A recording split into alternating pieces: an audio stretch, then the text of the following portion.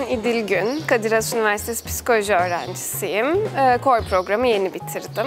Çekirdek programı aslında ben çok heyecanlı başladım. Yani ders programı beni heyecanlandırmıştı. Beklediğimden çok fazlasını aldım onu söyleyebilirim. Ben hem ilk döneminden hem de e, psikoloji bölümü daha şanslı. Dört tane seçmeli dersi var. Hem seçmeli derslerden çok şey öğrendim. Genel dünyaya dair, işte takip etmemiz gereken etik kurallara dair, ekonomiye dair. Bence her bireyin bilmesi gereken aslında çok fazla şey öğrenip bitirdim seneyi. Biraz açık fikirli olmaları lazım. Sondan Hoca da hani e, şey entelektüel bir Disneyland diye tanımlıyor. Bence çok iyi bir tanım. Keyfini çıkartmak e, bence güzel olan. Sosyal girişimci, etik tarafları çok güçlü. Sosyal girişimci etik dedim.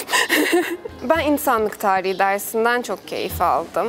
Ee, çok şey öğrendim çünkü yani e, daha önce çok tarih dersi hepimiz aldık yani ama hep böyle bir ezbere dayalı bir şey gibiydi. Dünyanın hani oluşumundan itibaren bugüne kadar gerçek bir ölçekte algılayabildim. Moda sahnesinin Babamı Kim Öldürdü oyununu e, onlar sadece şey Kadir Has'ın e, Beyaz Güvercin bursuna destek olan kişiler için İngilizce altyazılı bir gösterim yaptılar. Oyun sonrası bir sohbet etkinliği yaptık. O da gene karantina ile beraber tiyatrolar online'a geçtikten sonra benim çok ihtiyaç duyduğum bir şeydi.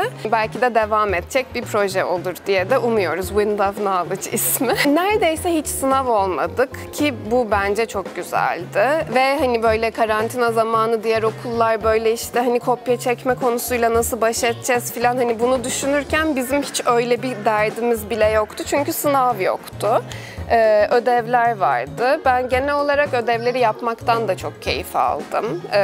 Yani o hani sürekli bir şeyin çıktısı olması, hani onun değerlendiriliyor olması, geri bildirim olması filan. Bence güzeldi çok. Ben bütün hayata bakış açımı değiştirdiğini düşünüyorum açıkçası. Yani ne bileyim bir sürü şey yapmak isteyebilirdim ama şimdi mutlaka yaptığım işin sosyal tarafı da olmasına, farkındalığı arttırmaya en azından yönelik bir tarafı olmasına dikkat ederim.